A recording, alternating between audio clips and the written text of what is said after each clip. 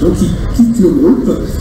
Euh, un des derniers albums du groupe qui s'appelle euh, Goodbye, justement, sur cet album, il y a une chanson qu'il a coécrite avec George Harrison, le guitariste des Beatles, avec qui il se lie d'amitié. Donc ça sera George Harrison et lui connaîtront une amitié de, de plus de 40 ans.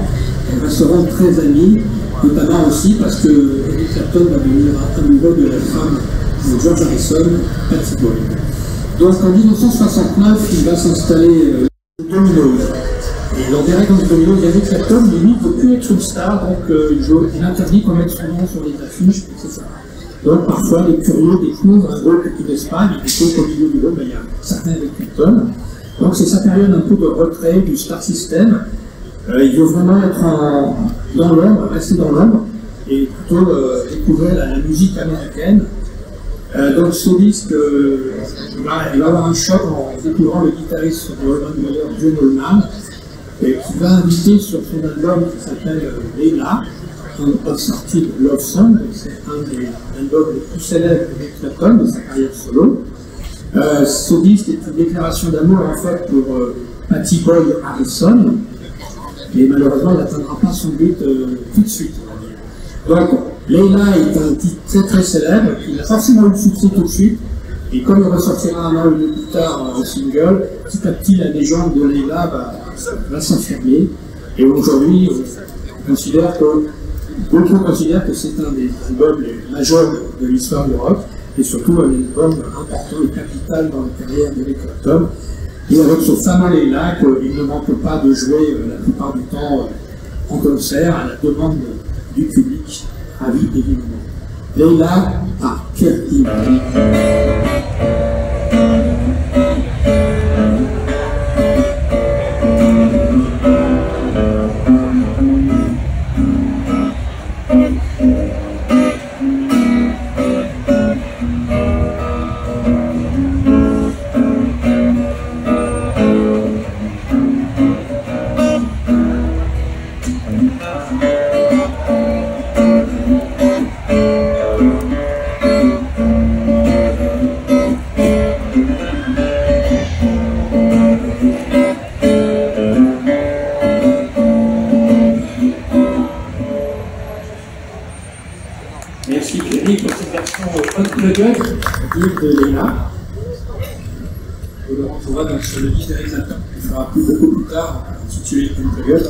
Alors que la version d'origine est beaucoup plus romantique, rapide et électrique, avec deux, deux guitaristes, Clapton et John Holman.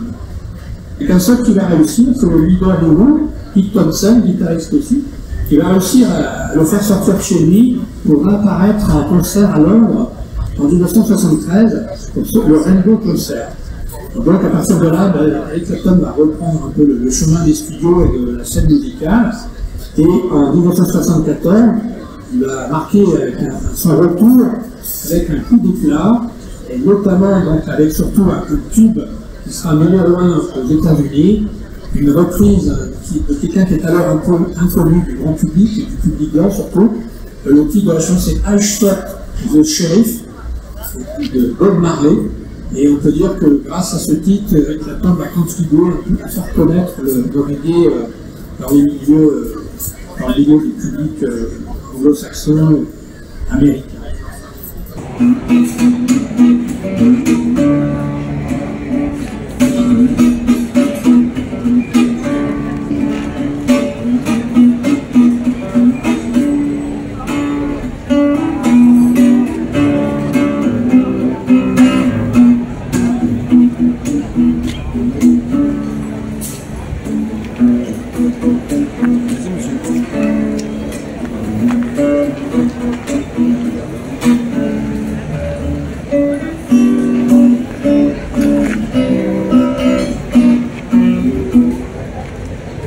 pour cette petite compréhension de côté des titres les plus connus du répertoire d'Eric Clapton. devenir euh, un peu plus en forme, euh, sobre, et sa santé va s'améliorer, donc va donner des concerts de, meilleure tenue. Pendant les années 70, il y a eu beaucoup de dérapage. En 1983, il revient avec un album qui s'appelle Money and Cigarette. En 1985, il fait la rencontre de Phil Collins. Et là, c'est une nouvelle qualité qualifiée de pop qui va élargir le public d'Eric Clapton, qui va toucher un plus grand public avec une musique beaucoup plus, on va dire, accessible et commerciale. Donc il va avoir un nouveau numéro 1 qui s'appelle Forever Man, USA. Il y aura aussi de, la naissance de sa fille, Ruth, ensuite, mais qui n'a pas, pas eu avec Patty Boy, malheureusement. C'est une liaison euh, extra-conjugale. En 1986, un autre disque avec euh, Phil Collins, produit par Phil Collins. Donc ce sont les années pop, ces années FM. En 88, divorce avec Patty, car rien ne va vraiment bien dans, ce couple. En 89, John Lehman, très bon disque. En 1990, c'est la mort de Stevie Ray Vaughan, euh, extraordinaire guitariste texan, qui a joué avec David Bowie et qui est mort très très jeune et qui a commencé à avoir une réputation de plus en plus grande. Et en 91, c'est le drame.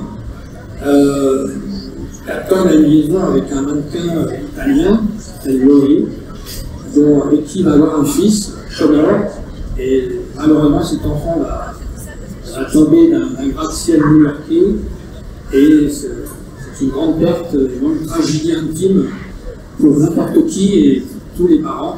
Et là, euh, Clapton est vraiment effondré. Euh, il, va, il va- il va rebondir malgré tout et il va essayer de guérir euh, cette profonde blessure en écrivant des chansons. Et en 92, il va enregistrer des fameux shows Unplugged qui sont euh, organisés par la chaîne MTV et euh, ça va être un triomphe incroyable. Euh, le va se vendre à 10 millions d'exemplaires. Il va récolter 7 Grammy Awards, et notamment grâce à une chanson écrite à la mémoire de son fils, euh, lui réclame évidemment chaque concert, un morceau, euh, très belle balade, euh, un morceau qui s'appelle Tears in Heaven, en mémoire de son fils euh,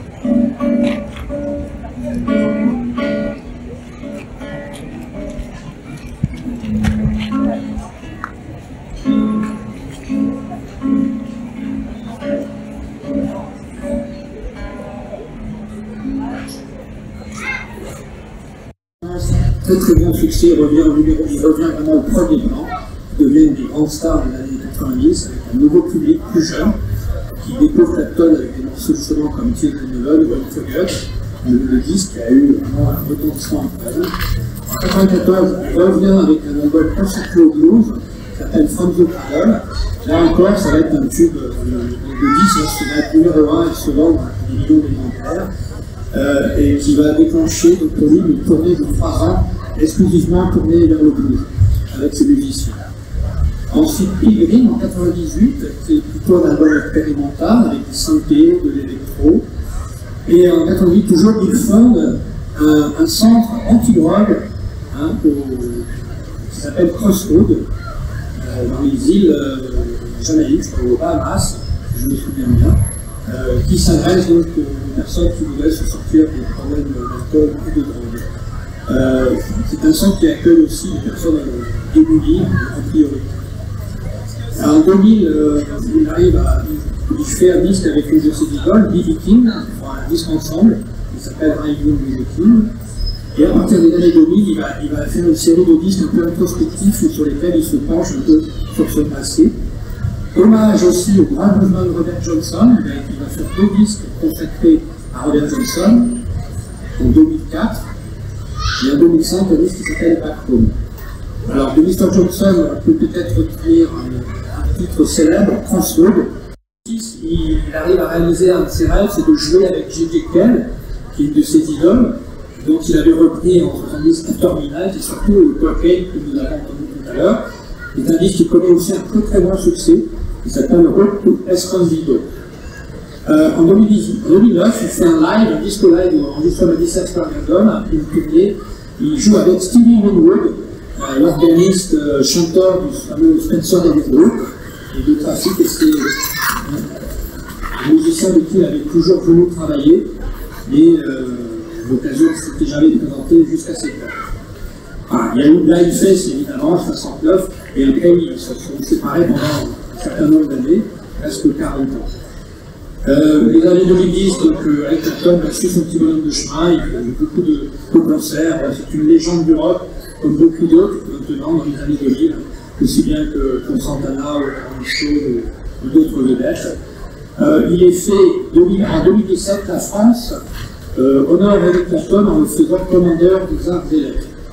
En 2017 aussi, il sort un documentaire qui s'appelle Life in 12 Hours, donc le blues en 12 mesures, euh, documentaire assez euh, généraliste, qui s'attarde très peu sur euh, des points précis de sa carrière, mais qui fait un survol un peu rapide des principaux événements de sa vie, avec des voix off et commentaires d'Eric Clapton qui en effet parlent avec amertume de ces périodes gâchées par l'alcool, etc. Et en 2018, c'est le dernier disque à ce jour qu'il a réalisé en studio. C'est un disque consacré de, à Noël, c'est un disque de chansons de Noël. Et c'est aussi un disque, euh, vous avez White Christmas, mais vous avez des blues, de la guitare blues sur certains euh, chants de Noël, euh, façon de traiter de musique. Voilà. Euh, Eric Clapton aujourd'hui est, un père de famille comblé, puisqu'il a eu avec sa jeune épouse Lilia, euh, qui était de 30 ans son aîné, il a eu trois. Euh, il continue. Alors, malheureusement, il est très embêté par le Covid, comme d'autres musiciens qui trouvent qu'on euh, ne peut plus jouer en public, on ne peut plus donner de concert. Lui, il n'est pas le seul. euh, il a fait récemment des déclarations un peu euh, anti-vaccin sur euh, la toile, sur Internet, qui n'y ont pas voulu que, que des amis. Donc, ça a déclenché beaucoup de, commentaires euh, très rétroactifs. Voilà. Néanmoins, donc, les Clapton de la maintenant en mai 2022, en mai juin 2022, doit venir en Europe, et malheureusement, il ne passera pas en France. Il faudra aller le voir en Italie, ou en Allemagne, ou en Angleterre. Voilà, peut-être que Thierry va conclure cette petite euh, causerie à un morceau de, son choix, un goût de ce, que- ce qui, ce qui nous passe un peu par la tête. Pour terminer en musique, cette petite euh, Little Wing, tiens, bonne idée, Little Wing, un morceau de Jimi Hendrix, qu'a repris donc Clapton sur son double album Leila.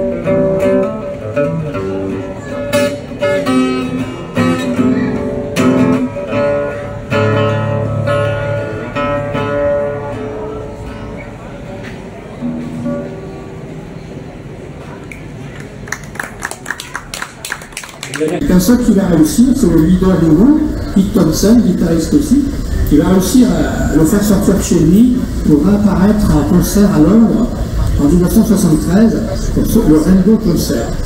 Donc à partir de là, ben, Eric Clapton va reprendre un peu le, chemin des studios et de la scène musicale.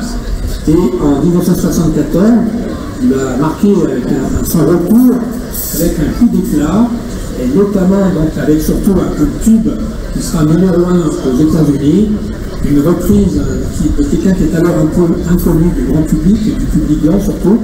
Le titre de la chanson c'est I Shot the Sheriff de Bob Marley.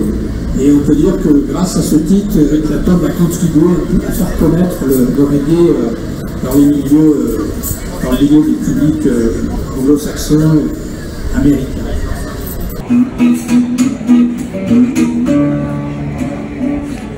you.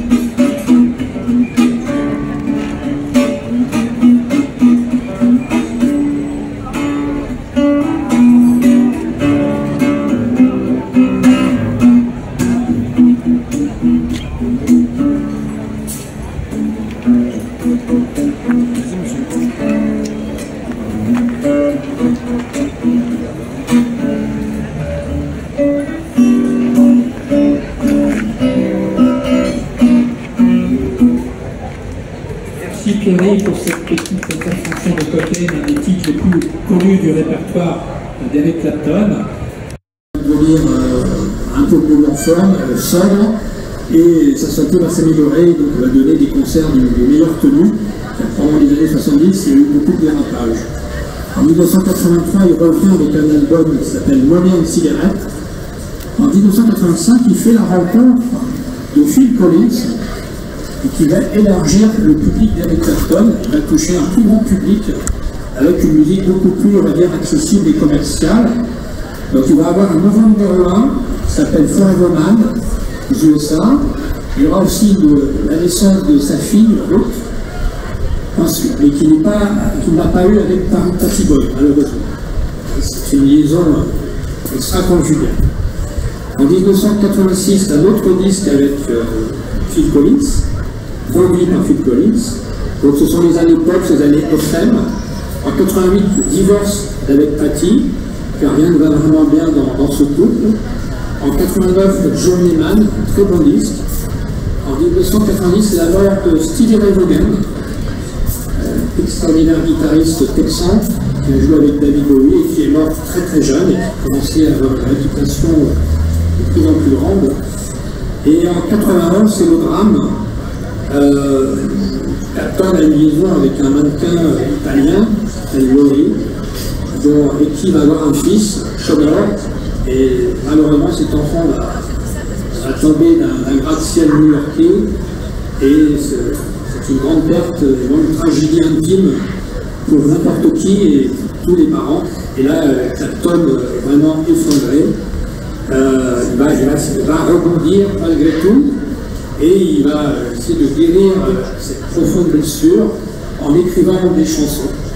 Et en 92, il va enregistrer les fameux shows Unplugged, qui sont euh, organisés par la chaîne MTV, et euh, ça va être un triomphe incroyable. Euh, va se vendre à 10 millions d'exemplaires, il va récolter 7 Grammy Awards, et notamment grâce à une chanson écrite à la mémoire de son fils, euh, qu'on lui réclame évidemment à chaque concert, un morceau très belle balade, un morceau qui s'appelle Tears in Heaven, en mémoire de son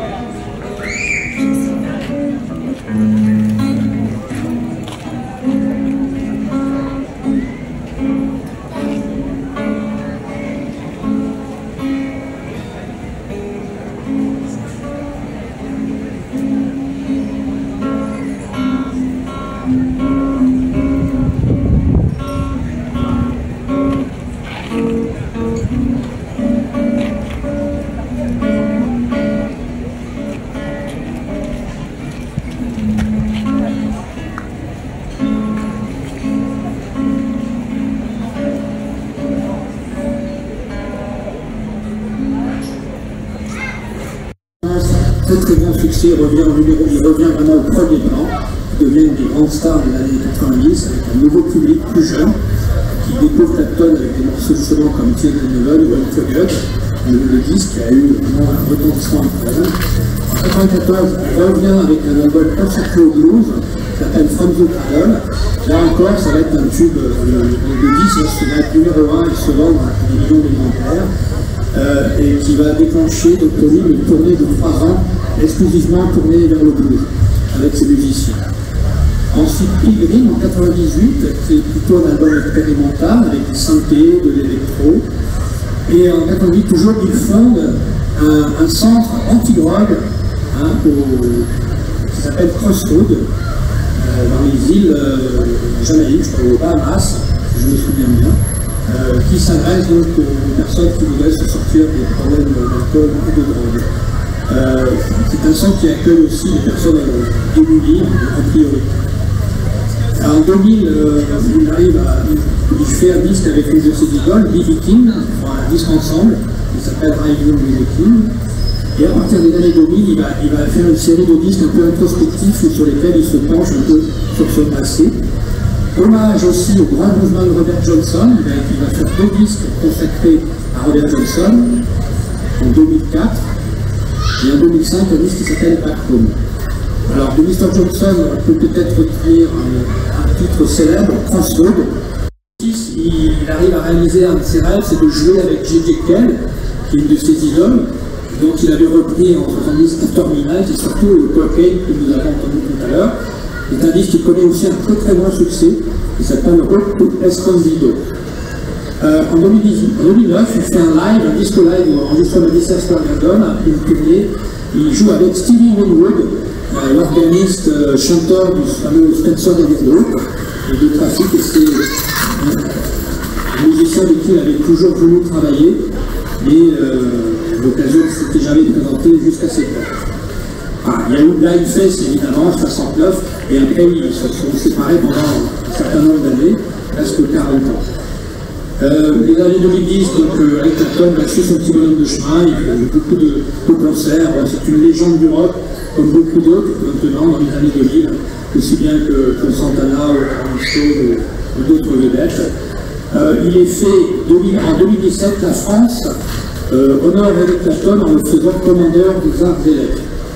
En 2017 aussi, sort un documentaire euh, qui s'appelle Life in 12 Bars, donc le blues en 12 mesures, euh, documentaire assez euh, généraliste, qui s'attarde très peu sur des points précis de sa carrière, mais qui fait un survol un peu rapide des principaux événements de sa vie, avec des voix off et commentaires d'Eric Clapton qui en effet parlent avec amertume de ces périodes gâchées par l'alcool, etc.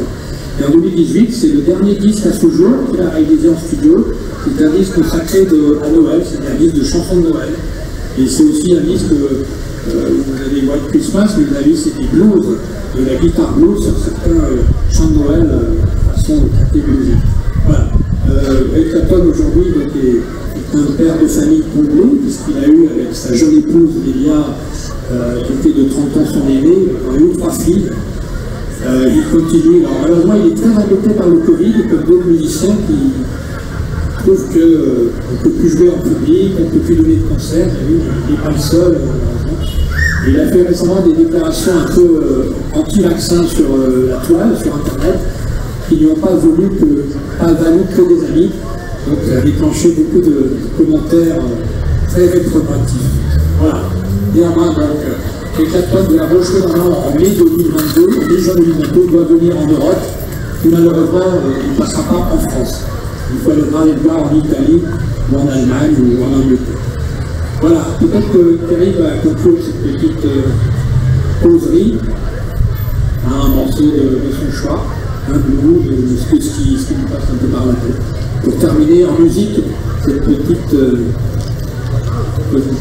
Little Wing, tiens, bonne idée, Little Wing, un morceau de Jimi Hendrix, qu'a repris donc Clapton sur son double album Leila.